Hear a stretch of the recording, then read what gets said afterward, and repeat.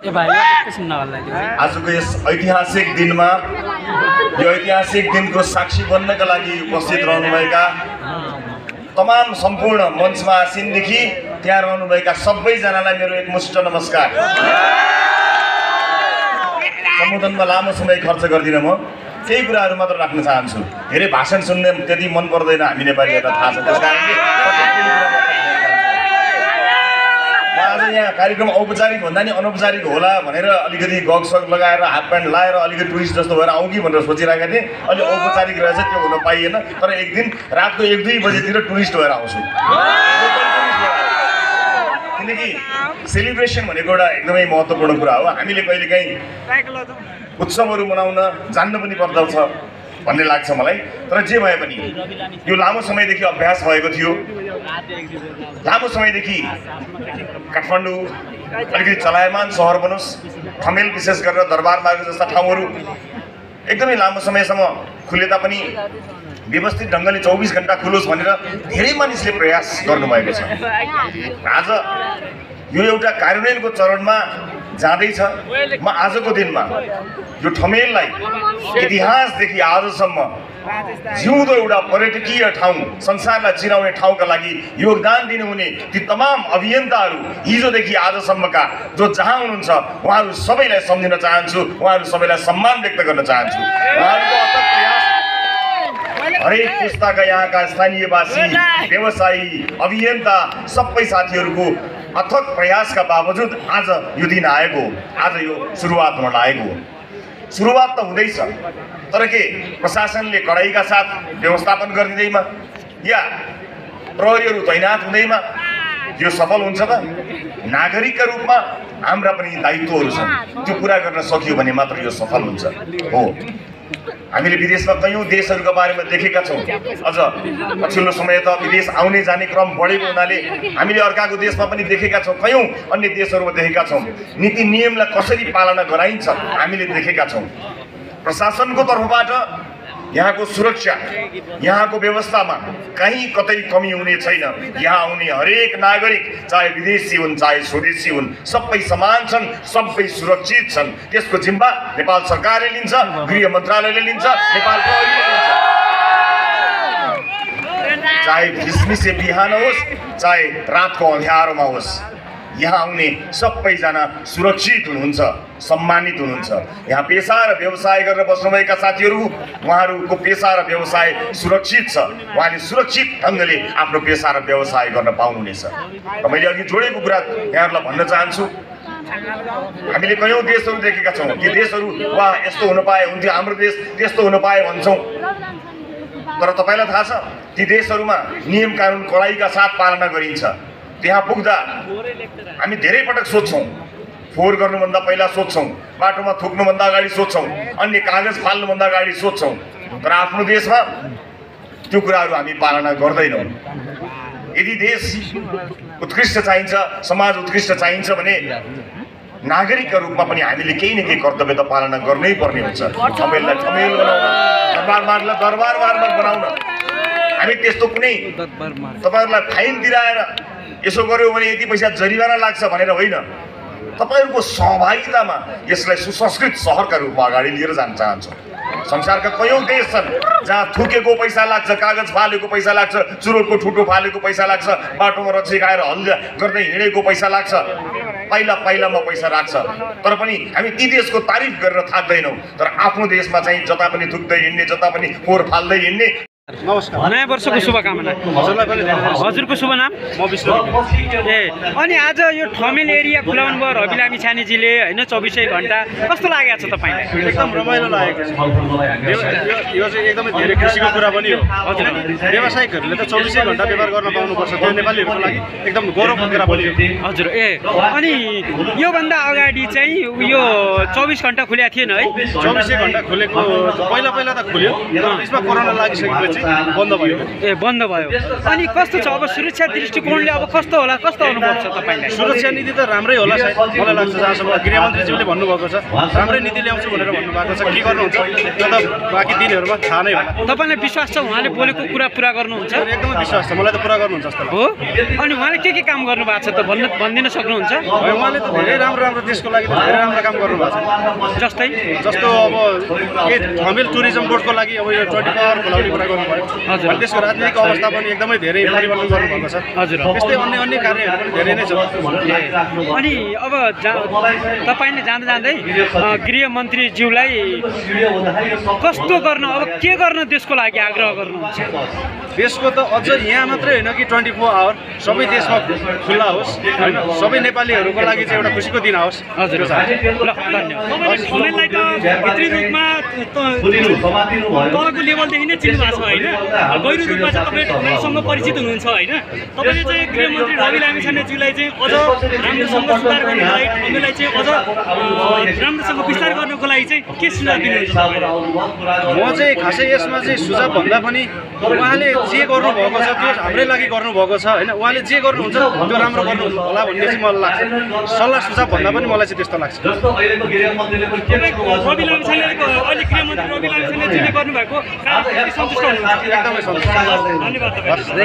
ल हामी हेर्न सक्छौँ हेर्नुहोस् अब चौबिस घन्टा खुलेदेखि यहाँ विभिन्न प्रकारका कुराहरू राख्नु भएको छ। हामी देख्न सक्छौँ। उहाँले होइन अब चौबिस घन्टा खुल्छ हामी ढुक्क छौँ। सुरक्षाको हिसाबले भन्नुभयो सरले सरलाई धन्यवाद छ हजुरलाई पनि धन्यवाद छ है। अब हामीले अरू सेटल पनि हेर्न सक्छौँ। हामीले स्टल अरू स्टल पनि हेर्न सक्छौँ। यो मोमो होइन? ए बफ मोमो होइन? ए उता त्यो अब तपाईँहरू चौबिसै घन्टा तपाईँहरूलाई सजिलो भयो होइन यो? कस्तो लागेको छ रवि लामी छानेको काम? खुसी भन्दा नि खुसी व्यक्त गर्नु न। धेरै राम्रो हो? त्यसो भए रवि लामी के भन्नुहुन्छ? धेरै धेरै हो हामी अरू पनि हेर्न सक्छौँ। हामी यहाँ देख्न सक्छौँ। हामी एउटा दिदीको दिदी।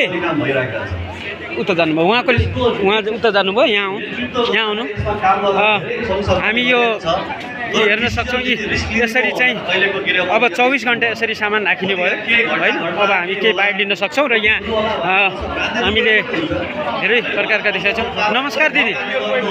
नमस्कार।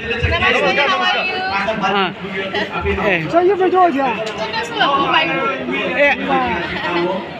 ए उहाँ चाहिँ चाइनिज कि? उहाँको? ए जापानको? ए हो? सर नमस्कार है तपाईँलाई। हजुरको शुभ नाम? म नवीन साहु। अनि कस्तो लागेको छ यो चौबिसै घन्टा खुला भयो? तपाईँहरूले यस्तो व्यापार गर्न पाउनु भएको छ होइन। कस्तो लागेको छ रवि लामी छानेप्रति? होइन त्यो भनेको एकदम सकारात्मक कुरा हो। हजुर। किनभने व्यापारीहरूले एउटा सुरक्षित महसुस गर्दै। ट्वेन्टी फोर आवर भनेको चाहिँ धेरै राम्रो किनभने यहाँ धेरै क्लबहरू पनि छन् राति क्लबमा गएर आउने ग्राहकहरूले खाना खोजेको हुन्छ होइन हजुर। खाना नपाइरहेको हुन्छ। त्यस कारणले त्यसको पनि समाधान भयो।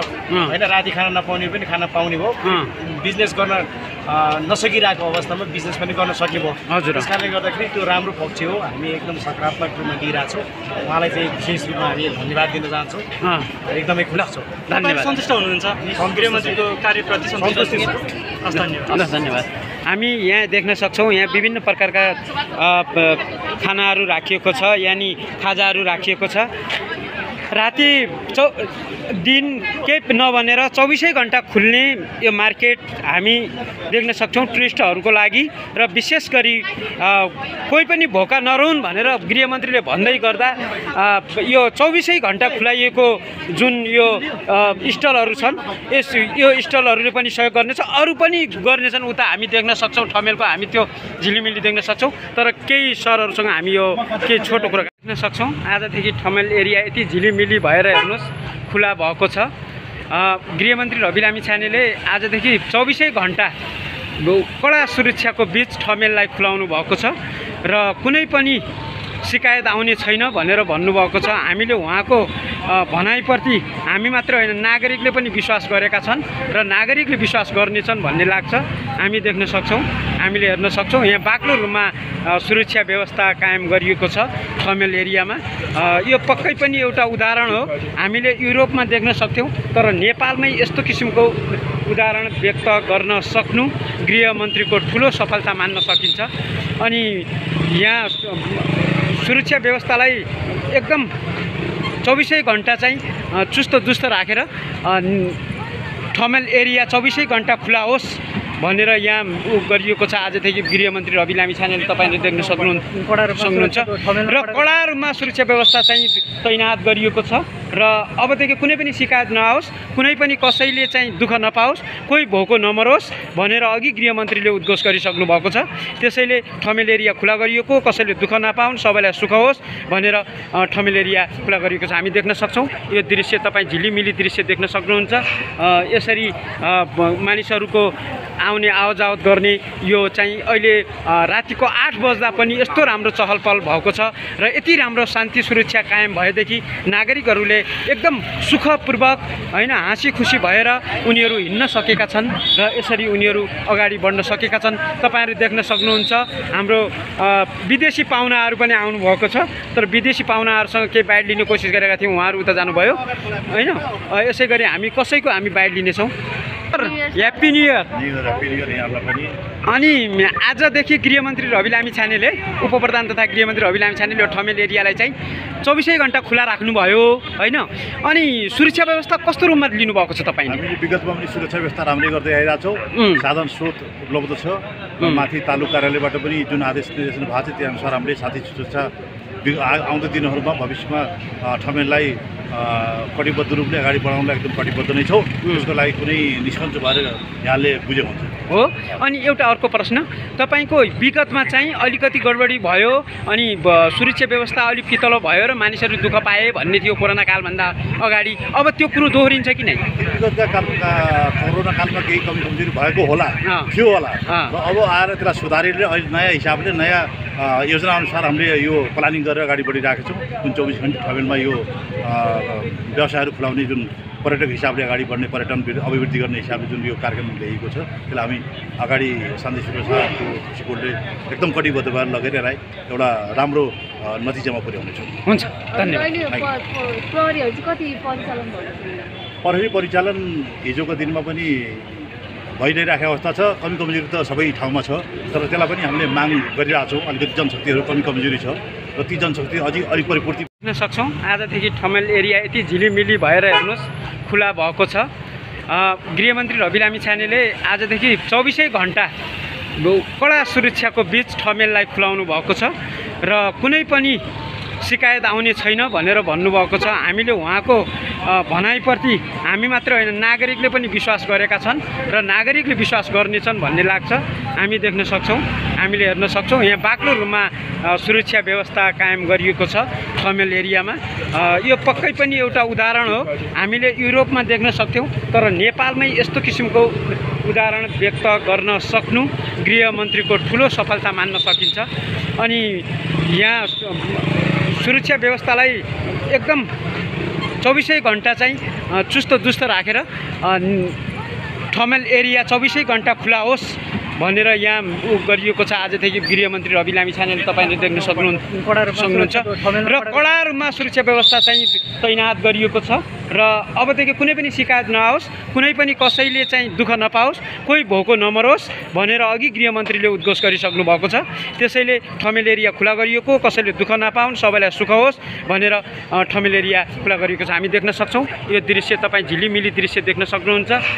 यसरी मानिसहरूको आउने आवजावत गर्ने यो चाहिँ अहिले रातिको आठ बज्दा पनि यस्तो राम्रो चहल पहल भएको छ र यति राम्रो शान्ति सुरक्षा कायम भएदेखि नागरिकहरूले एकदम सुखपूर्वक होइन हाँसी खुसी भएर उनीहरू हिँड्न सकेका छन् र यसरी उनीहरू अगाडि बढ्न सकेका छन्। तपाईँहरू देख्न सक्नुहुन्छ हाम्रो विदेशी पाहुनाहरू पनि आउनुभएको छ। तर विदेशी पाहुनाहरूसँग केही बाइट लिने कोसिस गरेका थियौँ उहाँहरू उता जानुभयो होइन? यसै गरी हामी कसैको हामी बाइट लिनेछौँ। ह्याप्पी न्यु इयर न्यु पनि। अनि आजदेखि गृहमन्त्री रवि लामी छानेले उपप्रधान तथा गृहमन्त्री रवि लामी छानेले ठमेल एरियालाई चाहिँ चौबिसै घन्टा खुला राख्नुभयो होइन? अनि सुरक्षा व्यवस्था कस्तो रूपमा लिनुभएको छ तपाईँले? हामीले विगतमा पनि सुरक्षा व्यवस्था राम्रै गर्दै आइरहेको छौँ. साधन स्रोत उपलब्ध छ. माथि तालुक कार्यालयबाट पनि जुन आदेश निर्देशन भएको छ त्यो अनुसार हामीले साथी सुरक्षा आउँदो दिनहरूमा भविष्यमा ठमेललाई कटिबद्ध रूपले अगाडि बढाउनलाई एकदम कटिबद्ध नै छौँ। त्यसको लागि कुनै निष्कन्च भएर यहाँले बुझे हुन्छ। हो? अनि एउटा अर्को प्रश्न तपाईँको विगतमा चाहिँ अलिकति गडबडी भयो अनि सुरक्षा व्यवस्था अलिक पितलो भयो र मानिसहरू दुःख पाए भन्ने थियो कोरोना कालभन्दा अगाडि। अब त्यो कुरो दोहोरिन्छ कि नै? विगतका कोरोना कालमा केही कमी कमजोरी भएको होला। थियो होला। अब आएर त्यसलाई सुधारेर अहिले नयाँ हिसाबले नयाँ अ, योजनाअनुसार हामीले यो प्लानिङ गरेर अगाडि बढिरहेका छौँ। जुन चौबिस घन्टा ठमेलमा यो व्यवसायहरू खुलाउने जुन पर्यटक हिसाबले अगाडि बढ्ने पर्यटन वृद्धि- अभिवृद्धि गर्ने हिसाबले जुन यो कार्यक्रम ल्याइएको छ त्यसलाई हामी अगाडि शान्ति सुरक्षाको दृष्टिकोणले एकदम कटिबद्ध भएर लगेर यसलाई एउटा राम्रो नतिजामा पुर्याउनेछौँ। हुन्छ धन्यवाद। प्रहरी परिचालन हिजोको दिनमा पनि भइ नै राखेको अवस्था छ। कमी कमजोरी त सबै ठाउँमा छ। तर त्यसलाई पनि हामीले माग गरिरहेछौँ अलिकति जनशक्तिहरू कमी कमजोरी छ। र ती जनशक्ति अझै अलिक परिपूर्ति